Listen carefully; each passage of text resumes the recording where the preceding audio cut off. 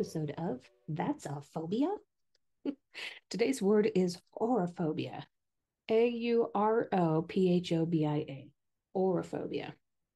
So, aurophobia is actually the fear of gold, and by extension, the fear of wealth for some people. So, people who have this fear may dislike gold because of the appearance, because of what it represents. Um, it might, to them, represent power or death, as it did in the Egyptian culture. Um, even if gold is just a little piece of jewelry, some people that suffer from aurophobia still can't even sign just stand just even the sight of gold. So, um, just like any other phobia, uh, aurophobia is something that you can be diagnosed with. It's pretty simple to figure out if you suffer from aurophobia.